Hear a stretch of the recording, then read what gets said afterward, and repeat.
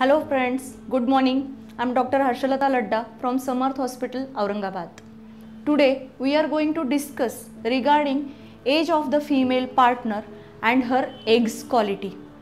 In last two videos we have discussed about basic process of fertilization and what does infertility means and what are the treatment modalities or what has to be done to a, for a couple after visiting a fertility clinic. So uh, you can go through those videos. Today I will tell about egg quality. So when a female fetus means a baby girl is in her mother's womb, that time only her ovaries are formed.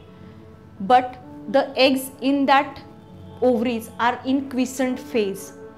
When the patient gets her menarche means starts her menses, that time the egg starts growing in her body. So from day 2 of the period the egg starts growing and it grows up to its maturity level and after that it gets ruptured. So that means when the age of a female is say suppose 30 years that means her eggs age is also almost 30 years approximately so uh, as per the age changes there are changes in the other body uh, organs like graying of hairs wrinkles on the face the patient's capacity decrease a person's capacity decreases.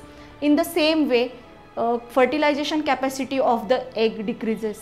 Also quality of the egg dec- decreases. That's why when a patient has to take any decision regarding her conception or fertility they have to take it as early as possible.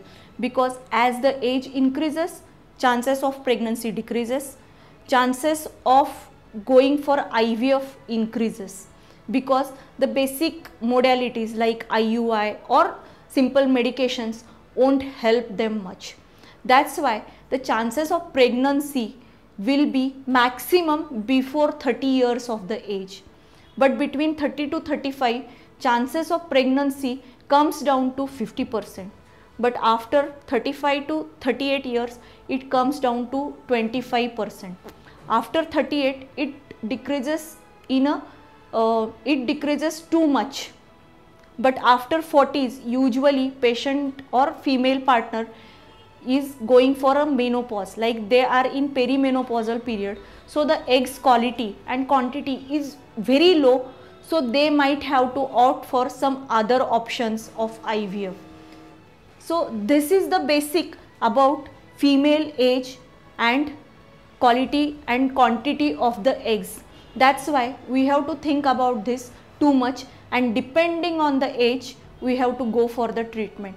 So as soon as we come to know कि a patient has infertility they have to go for treatment. So when the egg quality is low and number of eggs is low that time what are the treatment modalities or what the patient can do for the pregnancy we are going to discuss regarding these in next few videos. So keep watching me.